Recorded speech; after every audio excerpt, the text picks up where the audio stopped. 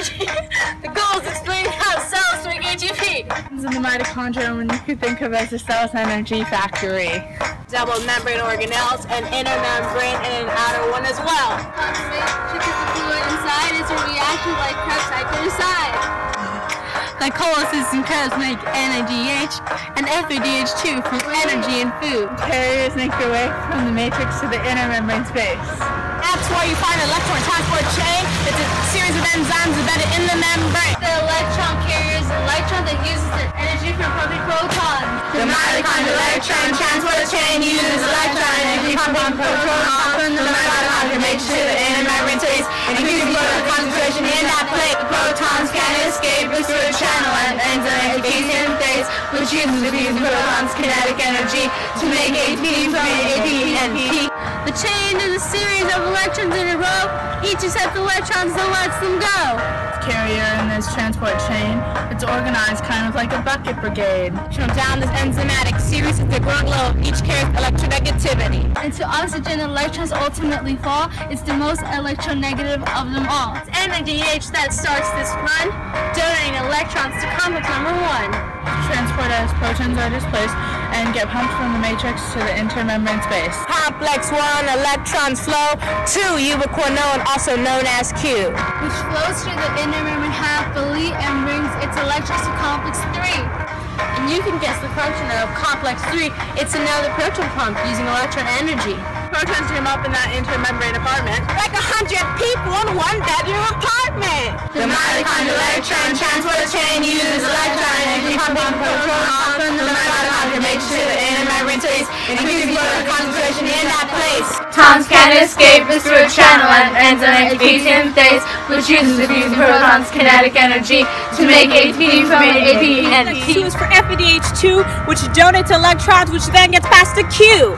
which once again passes into complex 3, which pumps protons using electron energy. Complex 3, the electrons proceed to another mobile carrier, cytochrome C.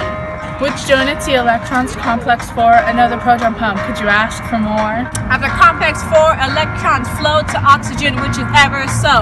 Electron negative, it pulls electrons down the chain, keeping them moving like a cars off of a train. And as O2 does this electron grabbing trick, it also grabs protons from the matrix.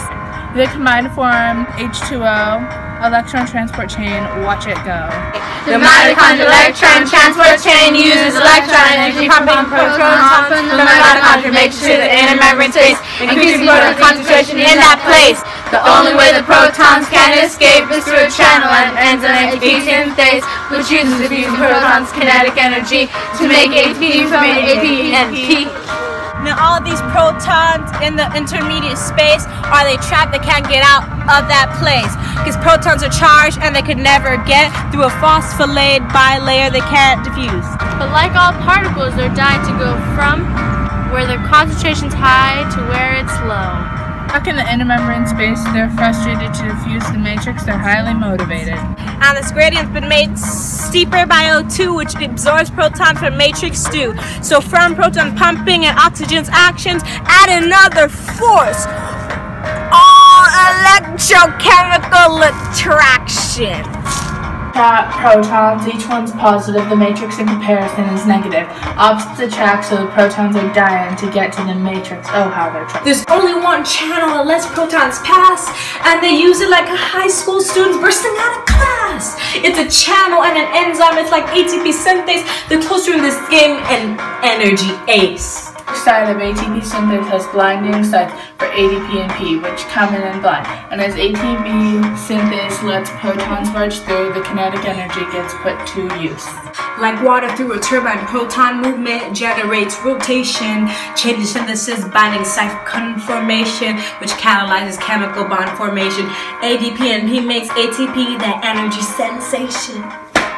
The mitochondrial electron transport chain uses electron from protons from the mitochondrial matrix the intermembrane space, increasing proton concentration in that place. Protons can escape through a channel and enzyme ATP synthase, which uses the protons' kinetic energy to make ATP from ADP and P.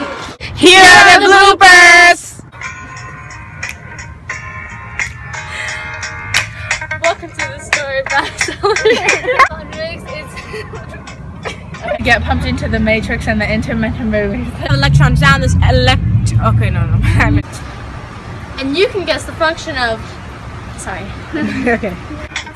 NADH. NADH. Okay. That Glycolysis.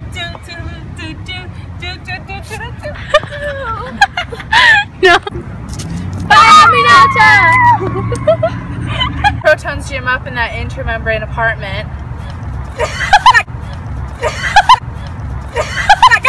Oh my god. That was not good.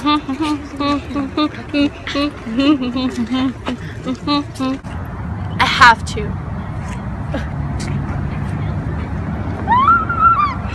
That's horrible.